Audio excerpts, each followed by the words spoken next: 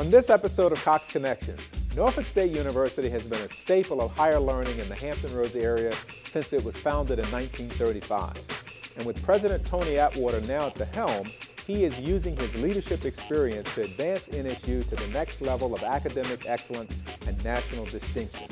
Hear about what he has planned for the future. Through the arc of the Virginia Peninsula, people with disabilities are able to gain the skills and training they need to maintain long-term employment and in turn, give back to the community in which they live.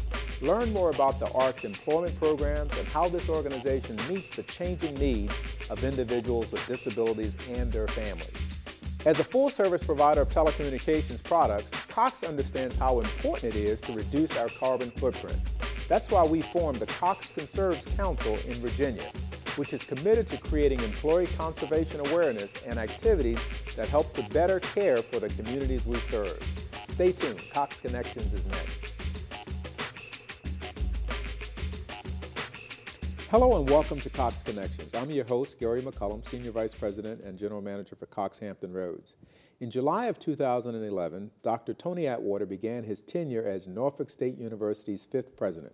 Upon accepting the job, he pledged to take Norfolk State University's already rich legacy and advance it to new heights. Here to talk about his vision for the future of Norfolk State is President Tony Atwater. Welcome to the show. Thank you, Gary. It's good to be with you. Well, I'm glad to see you here. Uh, you've been here now 120 days or so. What are the impressions so far? How are things going? great things are happening at Norfolk State University, and uh, it's good to be on your show to, to talk about some of these things. When I came into the door in July, uh, light rail had just arrived in Norfolk. That's right. That was and, a big, uh, big, big deal in here in Norfolk. Very big deal, and in, with Norfolk State University, it was even a bigger deal because two stations, uh, one on Brambleton and one at Ballentine, actually uh, traverse, you know, our campus and uh, we had the opportunity of working with HRT to generate a free ridership program for our students, uh, for our faculty, and for our staff idea. members. And how's so, that been received by the students? Oh, it's been enthusiastically received. The students are, are using it, you know, in great numbers. And this is free for them for both the light rail, the bus, and the ferry for an entire year, free of charge. Uh, I wish I had that kind of deal, Gary, when I was going to the university. What are some of the I guess, surprises that, I mean, you've, you've, this is not your first university that you've been, uh, been in charge of as president.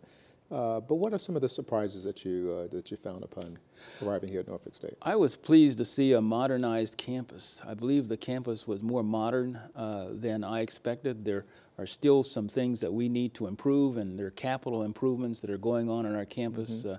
major capital improvements that will make it even a stronger learning environment for our students. For example, uh, uh, this fall, I cut the ribbon on a new student center, uh, which is really serving us in a very good fashion. Uh, this January, we'll open a new library, you know, a very spacious, state-of-the-art contemporary library for our students that will be a centerpiece of the university.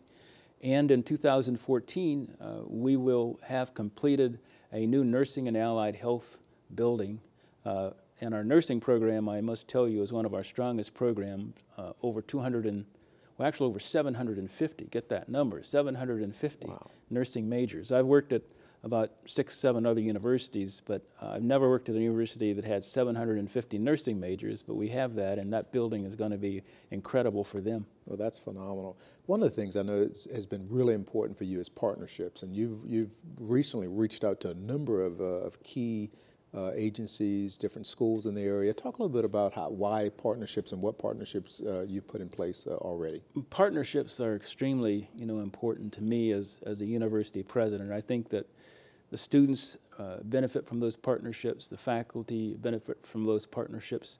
So we are, are doing a, a number of things to, uh, to generate uh, a sense of interaction, you know, with the larger community. And so we have going on quite a number of things.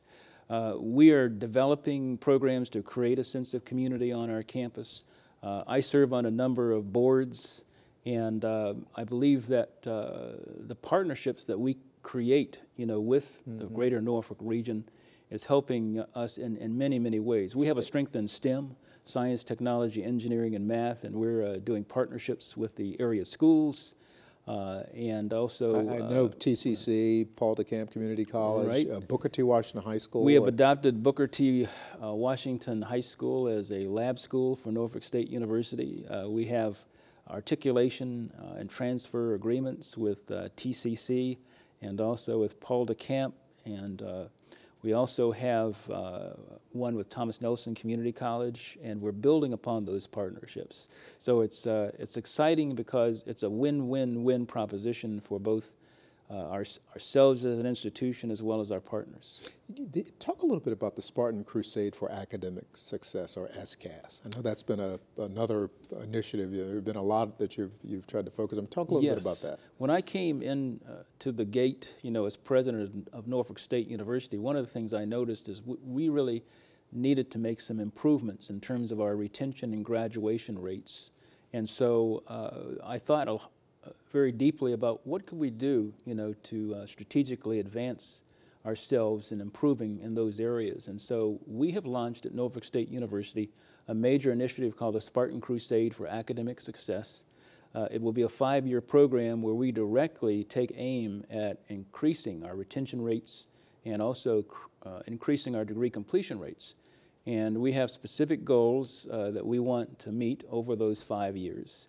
And uh, I'm happy to say that we've enlisted partners, both uh, partners in the social sector, private sector, and also the government sector, to help us to be successful at this. We plan to reach down in the pre-K through sixth gra- uh, grades, the So middle grades, starting early starting early, that pipeline. absolutely, and uh, the high school. So we're going to be hitting all those levels with enrichment programs and partnerships and uh, afternoon programs, weekend programs for enrichment, and we're going to be enlisting a lot mean, of that's going to help Norfolk State, but that's going to help this entire region. What you're Exactly. doing, this is this Exactly. is really uh, revolutionary. Well, we want to help all of Hampton Roads, and we want to do it strategically. We started out by adopting Booker T. Washington.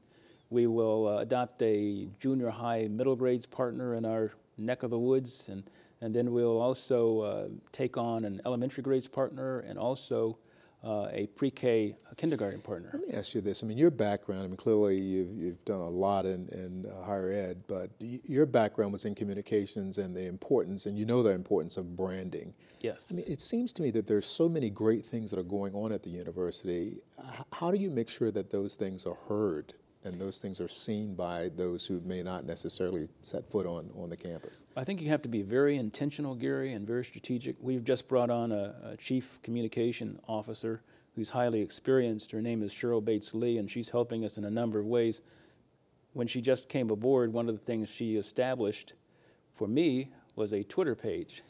and I found that kind of interesting that uh, she asked me, Well, do you, do you mind if I develop a Twitter page for you as president? And I said, Well, hey, let go for it. And, And, so I guess, she did. and I guess ha- having uh, athletic success helps with that branding. I- I- Absolutely. I, guess uh, Norfolk State has some bragging rights here. Uh, We do indeed. And in addition, you know, to uh, the Twitter page, I was going to go back to the communications things. We also have, you know, a new publication and online uh, vehicle called Making Waves, which tells our story in terms of positive developments. And of course, one of the big things for marketing and publicizing uh, good things about our university, as you suggest, you know, is our success with athletics. We are MEAC champions, Mid East Athletic Conference champions in two sports, not one, but in two sports Congratulations, that's great. football and also in uh, men's cross country.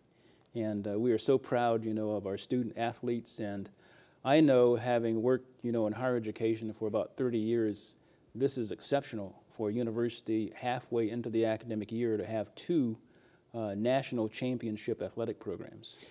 We only have a, a minute left. What would you say to someone listening to this who may not know all of the great things that are going on at this institution and, and really the bright future that, uh, that clearly you're, you're here to, uh, to, br- to bring into fruition at Norfolk State? What would you say to them? I would just encourage them to know that uh, Norfolk State University is an excellent resource, you know, for our region, and to come and visit with us. And we're going to be doing our due diligence to reach out more uh, to the Hampton Roads area and uh, play our role as a steward of place, you know, in uh, the Norfolk community.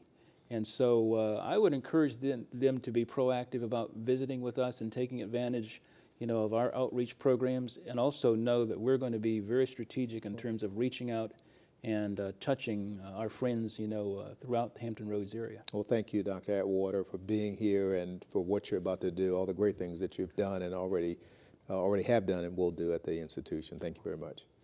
Up next on Cox Connections, the Arc of the Virginia Peninsula serves more than 1,000 individuals with developmental disabilities.